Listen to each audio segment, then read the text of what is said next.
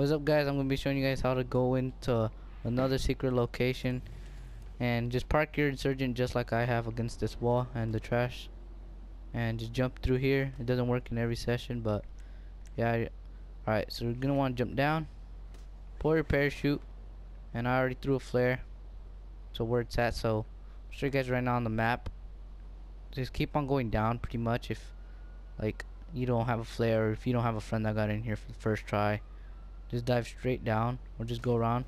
And you should come in here. Alright. And just go in first person once you're here. You notice you're here. I'm show you guys where to go.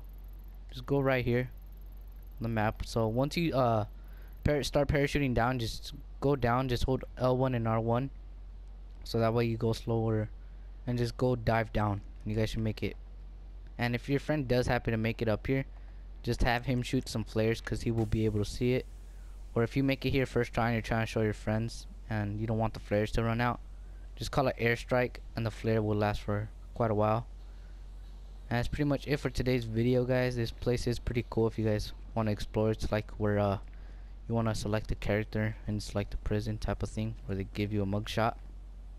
It's pretty cool in here if you want to explore it that's pretty much it for today's video guys.